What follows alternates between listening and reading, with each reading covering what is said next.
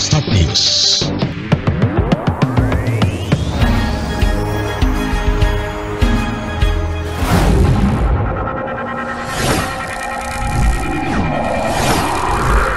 Start News Jendela informasi Anda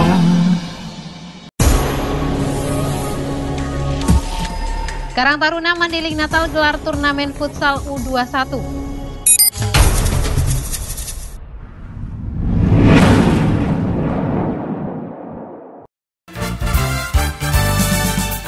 Assalamualaikum warahmatullahi wabarakatuh Start News, jendela informasi Anda semua layak jadi berita. Start News hari ini kembali menjumpai Anda dengan berita seputar Sumatera Utara khususnya Bumi Gordang Sambilan bersama saya Nuris Midesita. Tim redaksi sudah menyiapkan informasinya untuk Anda. Karang Taruna Kabupaten Mandailing Natal menggelar turnamen futsal Karang Taruna Cup 1 U21 di lapangan futsal Stain Mandailing Natal, Kecamatan Panyabungan pada Sabtu 5 Maret 2022.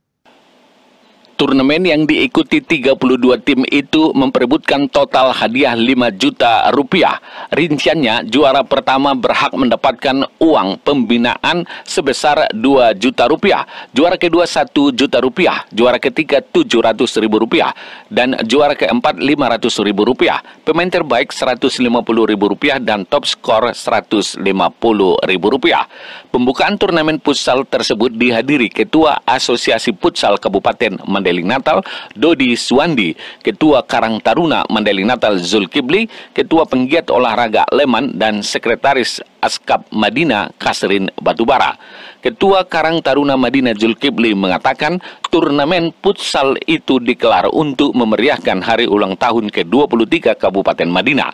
Selain itu juga mencari bibit generasi muda untuk dipersiapkan mengikuti Liga Futsal Nusantara yang akan dikelar pada 14 Maret 2022.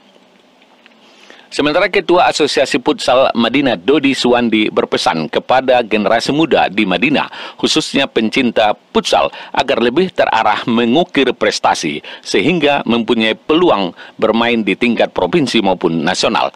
Hal senada diungkapkan Sekretaris Asosiasi Futsal Madinah Kasrin Batubara. Dia berharap pemerintah Kabupaten Madinah agar selalu bergandeng tangan dengan Asosiasi Futsal dalam memajukan olahraga ini sehingga para atlet Madinah nantinya dapat bermain di tingkat provinsi maupun nasional.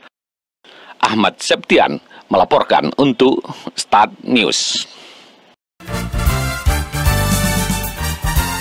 Demikian berita yang kami hadirkan untuk Anda di Start News. Jangan lupa untuk berita terbaru kami Anda bisa mengecek di www.startnews.co.id atau di YouTube channel Start FM News Channel. Demikian, jangan lupa untuk terus menerapkan protokol kesehatan dengan memakai masker, mencuci tangan, menjaga jarak, menjauhi kerumunan, serta mengurangi mobilitas. Wassalamualaikum warahmatullahi wabarakatuh.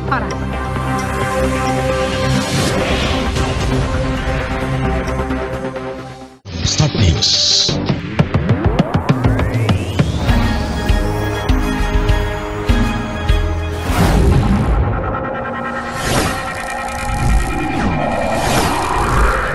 Start News.